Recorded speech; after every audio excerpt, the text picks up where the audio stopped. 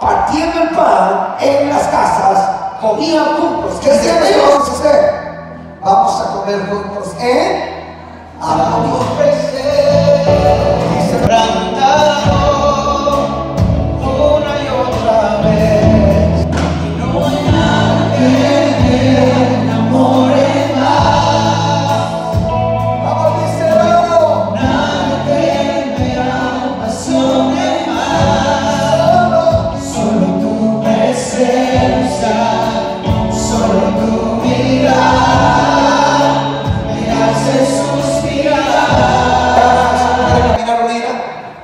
Ahora, ¿será que palabra y acción puede caminar unida?